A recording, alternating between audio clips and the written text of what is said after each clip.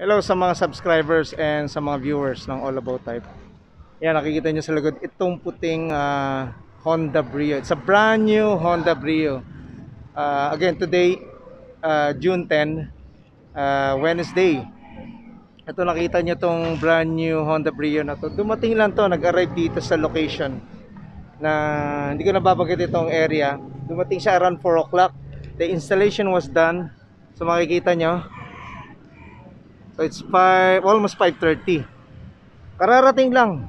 Galing sa casa around 4 o'clock p.m. So it's like a one and a half hour old lang tong ah, brand new Honda Brio.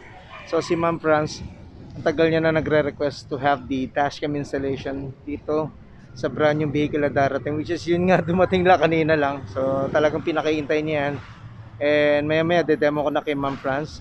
Let's see ah, ano magiging feedback niya regarding the the product ng All About Type, mga dashcam namin, the overall functionality ng dashcam and uh, saan niya ba na-discover ang All About Type. So imagine niyo sa matagal na to from the from the day one na nag-start ang service ng All About Type. Karamihan po, marami pong client mga merong brand new vehicle nagpapa-install dito sa All About All About Type. Uh, one of the re- um, there's two reason of course yung ah, professionalism ng All About Type. Pangalawa, yung experience namin ah, magkabit ng dashcam sa iba-ibang vehicle from old to brand new, kahit ano pang vehicle yan. So let's see, tingnan natin sa loob itong ah, installation dito sa brand new Honda Brio. Okay, yan, makikita nyo. Oh, Iniwan pa ni madam yung susi niya kasi tina, tinetesting. So yun yung manual. Obviously makikita niyo naman No, naka-plastic pa oh. Ayan oh. May mga plastic pa siya. So the dashcam we install here sa brand new Honda Brio itong NTEC 2K12 namin. So ma- malayo pala makikita nyo kung gaano kalapad yun sa 12 inches. And tingnan nyo yung quality ng mirror niya. Napakaganda, di ba? Salamin lang itsura niyan. And look at the installation we made here. Oh, sa lahat ng mga viewers, subscribers dyan, So tingnan nyo competitors namin or other shop kung ganito mag-install. This is the best installation you will have.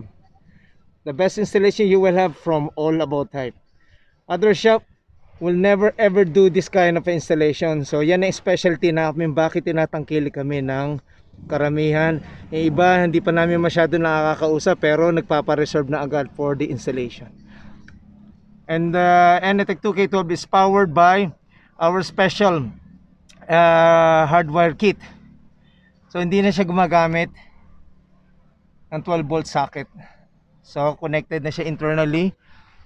So malinis yan, hindi ko na elaborate kung saan ang connection. And yan dashcam na yan, kahit patay ang makina, pwede yan mag-operate. So pwede mag-record ang dashcam kahit na patay na ang makina. So tingnan nyo gano'ng kalinis ang installation dyan.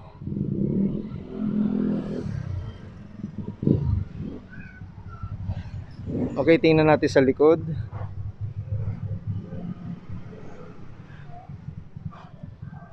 Okay, hindi ko na masyadong papakita pero mapapansin niya.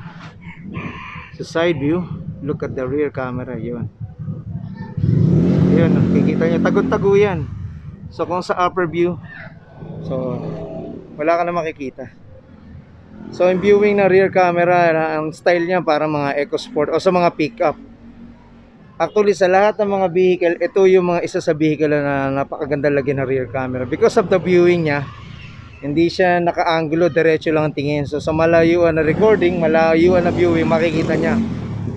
So, kahit na meron naglalakad dyan na ah, pusa o aso, umatras ka, makikita mo.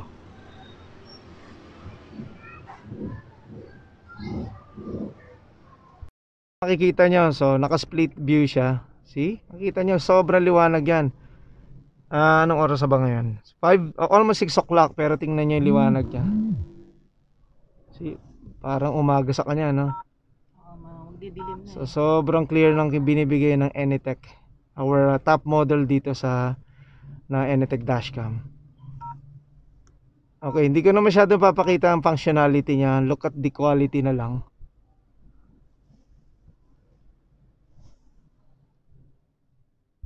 Yun, na-demo ko na kay Ma'am France. Ito, katabi ko siya. Yung paggamit. Madali lang naman kasi si Ma'am France na papanood niya na sa video. Anyway, tang- tanungin natin siya, Ma'am, Sensya na po sa abala. Ah, yun nga. Nasabi ko nga sa video kanina, kararating lang ng vehicle, nilagyan agad ng dashcam. Oo. So, ganyang katiwala si Madam na sa All About Tayo para kabitan ng dashcam. Itong, yun nga, around 4 o'clock naman dumating yung vehicle niya. No? Ang mga, mga ganun, tamo. It's like, yun nga, nung kaninang video ko, so one and a half hour old vehicle niya. Um, Madam, etong, etong top model namin is a number one dashcam namin dito sa All About Type. Anong na-observe niya sa ano niya, functionality niya? Ah, masyado siyang user-friendly. Walang masyadong complication kasi isang swipe lang. Ganyan. Mhm. Tapos, ah, isa pa, napaka-wide nung ano niya, nung ah, mirror niya. Hindi kagaya nung ibang mga dashcam na nakikita ko, masyadong maiksi. Tapos, Oh, yung ano lang dito, yung parang maliit lang na... Kapiraso lang, kapiraso lang yung nakikita mo. Wala kang makita, but this one, Oo, ito 12 full inches. mirror eh. Oo. Oo. Saka yung screen niya, ka, ano, yung capacitive, ano, Oo, tsaka responsive. Sobrang malinaw. Sorry, kasi naka 2K po yan. Tsaka Mm. ito lang yung nakita ko na dashcam na 2K yung ano. Saka switch up, nakita switch up ba? Oo, nagsuswitch. Tsaka 1080p. So imagine niyo 2K and 1080p resolution nagsuswitch Oo. siya. And uh, madam sa installation ano na observe mo? Ah, malinis ang pagkaka-install wala masyado naka ah, labas na wiring. Mhm. Ah, maganda, malinis. Yun, thank you ma'am. Oo. And yun nga um, nabanggit ko nga, it's also powered by yung special box namin, a special uh, hardwire kit na nakabundle dito sa Enetec dashcam. So hindi na ginagamit yung 12 volt socket. Eh, mas malinis siyang tingnan majority sa lahat ng client talaga. Kahit ako mas preferred ko talaga yung ganitong ah, sistema na hindi na yung mga old school na nung unang panahon kasi ma'am yung sinusuksok sa parang laruan eh. Eh, iba nakikita ko may nakalaylay na wire dito. Oh, ay, Tapos sagwa, no? Oh, ang pangit ito, internally, lahat ng connection niya. Hanggang to sa likod, malinis, malinis, Mm. ma'am. Last question, madam. Uh, saan mo ba na-discover ang All About Type, ma'am? Actually, nung nag-decide akong kumuha ng sasakyan, nag-scout na ako ng mga dashcam. Mhm. So, ginugel ko mga dashcam. So, lumitaw yung mga available dashcam na nasa online Mhm. ah, website natin. So, lahat yun, ni-review, ah, tinignan ko yung mga reviews. Aha. Ah, so, kaka-browse ko, nakita ko yung, ano, yung ah, post mo na Okay.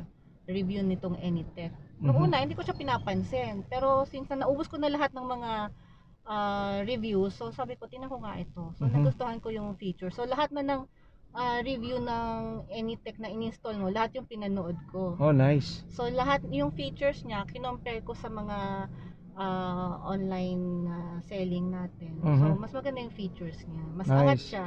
Oo. Wala akong makita na kaparehas niya na Mhm. feature. Yun, nakita niya naman. Saka, alam mo, ma'am, itong, sorry, it's today, June 10, itong top model namin na Enetec Dashcam, last, ano na to, unit na to. so, hinihintay namin yung darating na stock, I don't know, maybe next month. So, yan, talaga, i- nireserve ko to kay madam. Nambagit ko nga sa kanya, merong, hindi ko nababanggitin ang pangalan ko yung lugar. May dalawa, dalawa sila actually. Ah, inoopera na ko ng mas mala. But ito nga si madam, nakausap ko na na i-reserve sa kanya yung unit. Kaya yun, kinabit na namin dito sa brand new ah, Honda Brio niya. Ma'am, thank you so much for Din. availing the home service installation ano, dito sa ah, brand new vehicle nyo. And yun nga, salamat din sa tiwala. Yan, napapanood niyo yung mga videos namin. Yan, lahat ng mga videos namin, pinopost namin yan sa, actually, in my Facebook profile yan, makikita niyo yan sa Facebook page ng All About Type and yung YouTube channel ng All About Type. And madam, itong model ito, uh, itong Enetec 2K12 um, installation namin, naka-playlist yan, naka-group yan doon sa YouTube channel. So, makikita niya iba-ibang client namin nandun. Like yung other model namin, yung bestseller namin na Lenovo Dashcam, Mhm. ginawan din namin ng ano yan, na playlist. So, group. So, makikita niyo yung mga ininstall na namin sa buong Luzon.